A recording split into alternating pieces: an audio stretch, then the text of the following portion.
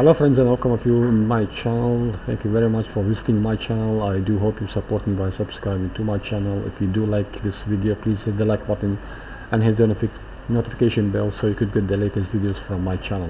This video is also going to be a very short uh, video but it's a very important uh, topic. The developers of any application always face a problem when they handle this topic. This is uh, how to make our application responsive that can fit for any device. Small mobile big mobile tablet laptop desktop. So there are multiple approaches to handle this uh, problem when we design our application. I do prefer one uh, solution which is uh, using a package by the name of responsive framework. This package you can find it in the pub.dev this is the package responsive framework.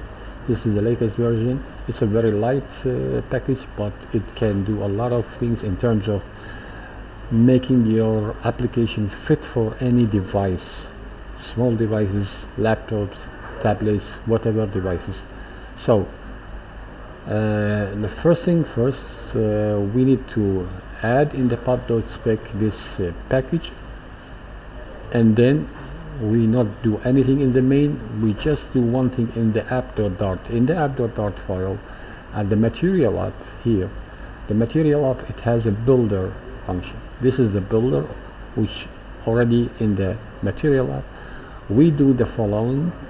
We just add this function context widget and then we add the responsive responsive wrapper dot builder and this builder will contains a bouncing scroll wrapper dot builder the context and widget and then we set uh, what is the maximum uh, width of our that we expect for our device and what is the minimum uh, width that we expect also for our device. So these two the minimum and the maximum is the width that our application will work with. The minimum and the maximum. Uh, and there is a breakpoint. Now these breakpoints is the changing point. When your application uh, shows on a mobile it will show on one size but when it will show on a tablet. It will break the boundaries of the application to fit for the tablet for fit for the laptop or desktop or whatever. Now we need to set these breakpoints.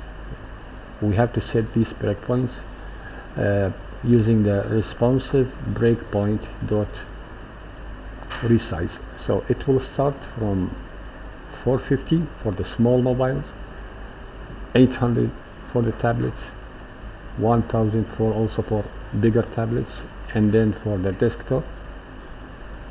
And there is also for the 4k the 4k which is the latest uh, uh, sizes or the latest screens that can show your application with so this is the total thing. Now this as simple as it looks but it can do a lot of things for you. It can take the heavy lifting of designing a responsive application for the multiple devices. So yes it's very small but it can do a lot of uh, heavy lifting on your behalf to when you design your application to make it fit for multiple devices from small devices up to to a desktop device. Now these uh, numbers this is totally up to you. You can uh, set these numbers depending on your requirement. So once you have done this you can rely on this package that it will take care of this responsibility of your application to be shown on any device from the small devices to the desktop versions okay that's all about this uh, video. As I said this was a small video and a very short video. Uh, though it's an important aspect any developer needs to take care when designing a, his or her application. Okay thank you very much for watching this video. Hope to meet again. Thank you